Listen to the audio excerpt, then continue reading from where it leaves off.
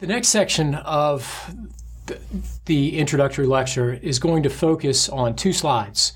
Um, this will be uh, the shortest in duration of these segments, uh, but I want to spend some time on each of these elements because they have uh, applications in real world settings as you're wrestling through cost containment issues on campus. Uh, in the readings, we're not going to spend much time on how institutions are adjusting their operating structures to reduce the cost of instruction. Um, so these two slides, until we have the chance to be together in Nashville, uh, provide a little bit of an opportunity to explore what other institutions are doing. And then, if this is an area of interest, we can converse uh, via email or in person in Nashville uh, with respect to particulars. So, as institutions, community colleges, universities, private institutions, public institutions are examining cost are examining uh, their response to increased pressures from elected officials to hold down tuition and fees. What are the levers that they can pull to help minimize the cost side of the equation? The revenue side of the equation, as we uh, witnessed in the prior section of this lecture, uh, really comes from two primary sources state appropriations and tuition and fees. So, in an era of stagnant or declining state appropriations, coupled with increased pressure from public sectors to hold down tuition, or in a promise era, I think there'll be growing calls on the community colleges to minimize tuition and fees so that promise can remain within its financial projections. What are things that you can pull as administrators, as faculty members, as staff to help balance the revenue and expenditure side of this equation? So, as you can see on the slide, there are three thematic elements here, and there'll be a couple thematic elements on the next slide. But within administrations, there are items that many institutions and many systems implement in order to realize administrative savings. First is strategic procurement. Rather than Northeast State or Motlow State or Walters State buying paper independently, through the collective purchasing power of the Board of Regents, they're able to purchase paper at a lower price. The same can be said for Banner. The same can be said for anything that comes through a shared services contract. Um, our state has implemented SciQuest, as have a number of states across the nation, uh, which bring together the collective purchasing power of institutions to help savings from a strategic procurement perspective. The next is shared services in the back office functions of your institutions. Some of you may have looked to a third party provider for the call center for your financial aid office. Or you may have outsourced food service to Sodexo, Aramark, or Chartwells. You may look to enterprise to run your institution's fleet rather than maintaining a portfolio of vehicles um, that require then staff to support their maintenance. All of those are examples of efforts that institutions have utilized to recognize cost savings from a back office perspective. Another is energy. Um, you see institutions utilizing energy uh, savings contracts to make investments in their fiscal infrastructure, their steam plants, et cetera, to bond that out and then to repay those bonds uh, based upon shared expectations and energy savings. Uh, you're seeing that with lighting improvements, moving from traditional uh, fluorescent lighting to LED lighting, um, brighter, more safety, uh, respective elements associated with lighting on campus, but cost savings associated with that that are then paid out in long term bonds. And then personnel costs. Institution is examining staffing levels uh, in the extent to which they may be over and understaffed, and then right sizing their institutions from a faculty and staff perspective. The next is through strategic investment. Uh, how do we retrofit mechanical equipment? Um, I referenced earlier uh, investments in uh, physical infrastructure, moving from coal to natural gas, is something that many universities, ours included, have done from a retrofitting perspective. Um, transfer savings from student services functions, thereby maximizing uh, investments in retention. So rather than spending in an athletic area, for example, to take those savings, reinvest them in student affairs, uh, in advising services, et cetera, with the hope that those investments will maximize retention rates, which will then generate additional tuition revenue and benefit the institution from a funding formula perspective. Uh, the purchase of IT equipment to upgrade efficiency and system productivity. D2L is a wonderful example of cost savings from an IT perspective, um, but you're seeing institutions moving to uh, the increased use of apps and um, IT elements that streamline the process aspect of an institution, allowing one person to do the work of four as you bring systems into an electronic portfolio. Uh, and then other institutions looking at uh, faculty and staff pay plans. Um, this will be a critical issue with the implementation of the FSLA standards in 2016. Uh, how do we ensure that we are complying with federal regulations to ensure that we are not recognizing subsequent downstream increases in the production function of institutions because of our staffing portfolios? And then there are efficiencies on the academic side. Uh, improvements in the cost effectiveness of developmental education.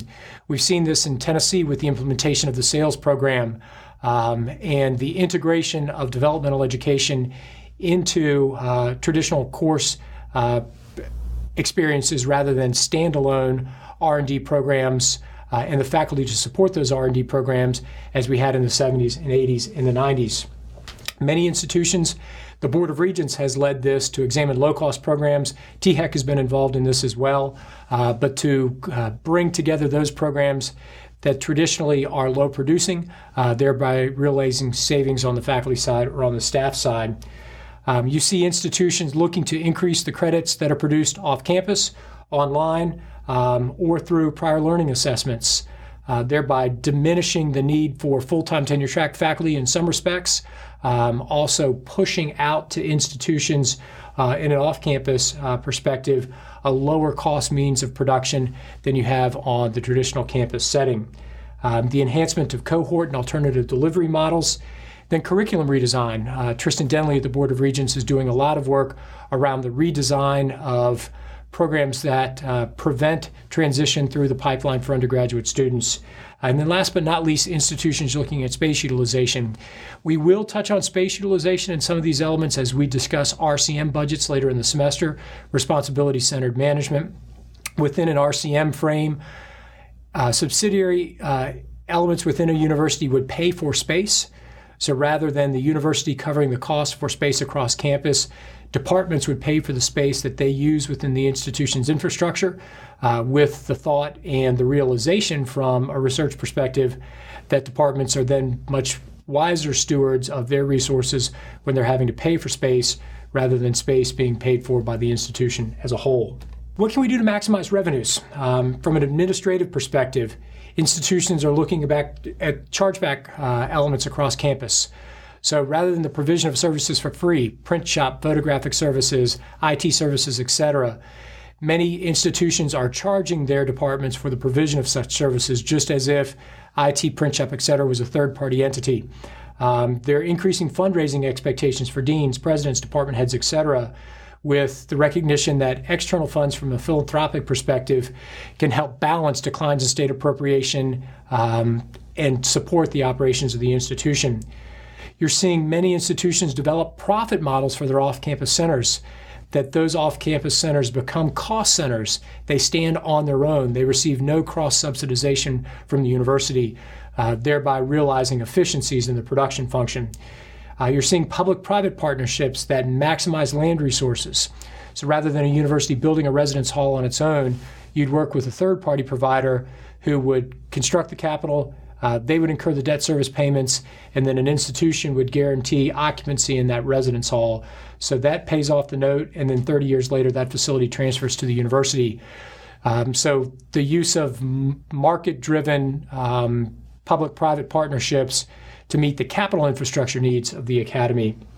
And then you're seeing budgeting at the campus level linked to planning goals. Um, the next element from a revenue perspective is enrollment growth. Um, if you're unable to increase tuition and fees, a way to maximize revenue is to grow your enrollment. So, reaching out to new markets, adjusting financial aid programs to maximize the yield on those institutional investments. If you know that you're going to have 100 students with 29 ACT scores come to your institution and you're providing them with $5,000 scholarships, would that 100 remain 100 if you reduce the scholarship to 3,000, took the net savings and invested those in need-based programs which drive enrollment across the institution?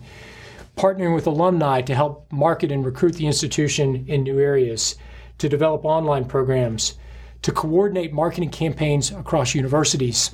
Uh, many of you, as you logged into this course on D2L, as you looked at the course syllabus, or if you see my lapel pin, you notice that the university has one consistent mark, the E with the state of Tennessee in the middle. When I arrived as president four and a half years ago, we had 132 logos across campus. So it was difficult for the institution to convey its message in the marketplace when there were a multitude of images that represented the university. It was hard to tell what was ETSU and what wasn't ETSU. So by moving to one consistent visual identity, it makes it easier for someone to say, that's East Tennessee State University. I want to learn more about it. Uh, many institutions are looking at fee specification. So online fees, differential fees for programs, uh, and manner and mechanisms through which cost of instruction can be recognized from the fee side of the equation, given the fact that the funding formula in its current iteration in the state of Tennessee does not recognize the differential production cost for high cost programs. And then finally, moving adult students through short term courses. Uh, many universities across the country start semesters every week. Some have multiple starts for the semester throughout the fall and the spring. So the recognition that in order for institutions to meet the needs of non traditional students, uh, we have to adjust the pace uh, and tone of the academic calendar. Um, that pace and tone uh, being geared to meet the needs of students rather than the traditional start in the fall, start in the spring. And then finally, uh, from an academic perspective, uh, revenue enhancement with new programs. New programs with market potential, RN to BSN programs that are online moving to larger class sizes and space maximization rather than teaching an Intro to American Government course, which I taught as an undergrad. And I also taught at Nashville State Tech with 30 students, putting me in front of 300 students, providing support from a uh, pedagogical perspective to help uh, work with students, i.e., a smaller scale version of the MOOCs. Uh, but thereby lowering the production costs for the delivery uh, of that instructional methodology um, focusing on a completement agenda. And then finally, the Rio Salado model, I referenced that earlier with multiple starts through the semester. I had the chance a number of years ago to visit Rio Salado Community College in Phoenix. Uh, was fascinated by the structure of their academic year. They began a new semester every Monday. A faculty member would be responsible for teaching a set number of students throughout a fall semester. So, as a faculty member, it would be my responsibility to teach a constant load of 40 students all fall. Some may start at the beginning of the term, they'd complete the course mid cycle. The students move at their own pace with the recognition that they need to complete the course by the fall, but they could take the course in six weeks, four weeks, two weeks, eight weeks, 12 weeks. As students come and go, I would have additional students join my course. So I would be teaching 40 students at different points in time across that curriculum but I would bear a constant load of 40 students for that class. And then if I had a load of five classes for the semester, that would be replicated for the other courses that I taught in my department. Rio Salado realized significant and pronounced exponential growth because they brought products to market a public institution in a manner that meet the needs of non-traditional students. So as you reflect upon calls that you receive from members of the General Assembly, members of the Board of Regents, your president, uh, chief academic officers, chief fiscal officer, and others to examine ways to increase productivity, diminish cost, increase revenues, maximize resources. The items that I've walked through here in this portion of the lecture give a very quick glimpse of some of the things that are being articulated across the nation. If you're interested in learning more about this, the Delta Cost Pro- Project uh, Jane Wellman and her staff have done a great deal of work on the production and uh, revenue side of the equation, as well as those items that drive cost.